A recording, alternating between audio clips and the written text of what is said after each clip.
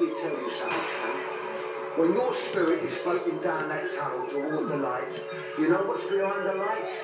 It's not God, it's me.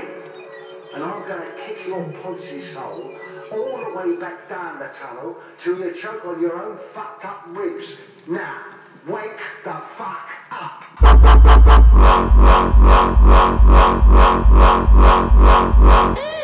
Casper.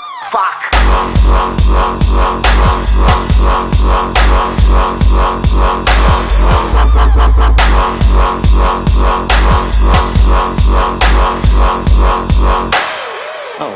me.